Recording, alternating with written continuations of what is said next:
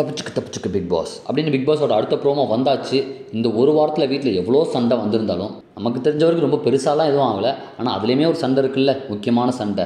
நம்ம மொட்டை தாத்தா சனம் அடித்தது அதை தான் கமல் ஃபஸ்ட்டு பேச ஆரம்பிக்கிறார். ஏன்னா அதை தவிர்த்து வேறு ஏதாவது பேசுனா பெருசாக ஒன்றும் இருக்காது. So coming back to the Sunday of மொட்டை அண்ட் சனம் அப்படின்னு சொல்லிட்டு சரி சனம்க்கு யாரெல்லாம் சப்போர்ட் பண்ணுறீங்க அப்படின்னு சொன்னதும் ஸ்கூல் பசங்க கை தூக்குற மாதிரி கண்டஸ்டன்ஸ் எல்லாரும் கை தூக்குறாங்க. சனம்க்கு தான் நிறையா பேர் மெஜாரிட்டியாக சப்போர்ட் பண்ணுறாங்க ஸோ நம்ம மொட்டை தாத்தாக்கு வந்து கல்பிரிட்டுங்கிற பட்டம் கிடைக்குது.